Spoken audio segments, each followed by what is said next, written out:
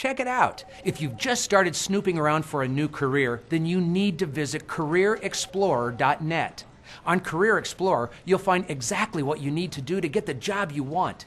Our experts will help you find nearby schools. You'll find training programs. You'll even be able to see which career is right for you, like a career where you work with your hands in the trades or the technical industry. Check it out.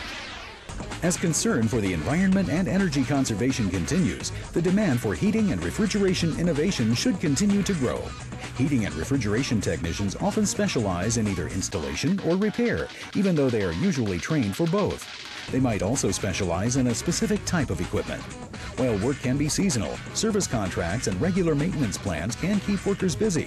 Furnace installers or heating equipment specialists install oil, gas, electric, solid fuel, and multiple fuel heating systems. Air conditioning mechanics install and service central air conditioning systems. Heating, air conditioning, and refrigeration mechanics and installers work in any building that contains climate controlled equipment.